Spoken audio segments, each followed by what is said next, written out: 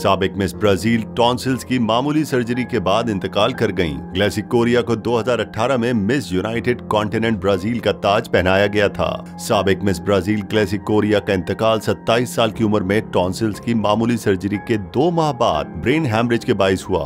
Gleycy Korea को 2018 में miss United continent Brazil का ताज पहनाया गया था। गैर मुल्की मीडिया के मुताबिक गुजश्ता दिनों एक निजी क्लिनिक में सर्जरी के बाद वो कोमे में चली गई थी और वो ठीक नहीं हो पा रही थी। उन्होंने अपने टॉन्सिल्स को निकलवाने के लिए सर्जरी करवाई थी, लेकिन कुछ दिन बाद उनका बहुत ज़्यादा खून बहने लगा और वो कोमा में चली गई जिसके बाद चार अप्रैल को उन्हें दिल का दौरा भी पड़ा था।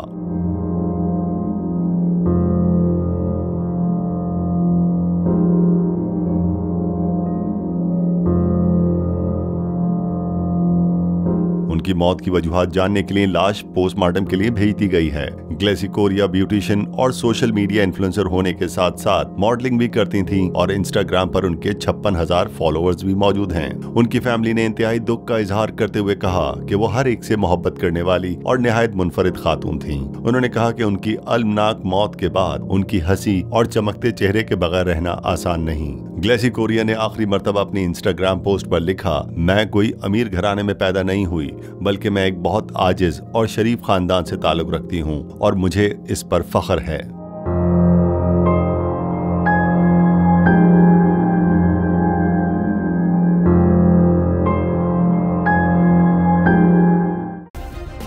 सब्सक्राइब करें और बेल दबाएँ ताकि कोई खबर रह न जाए।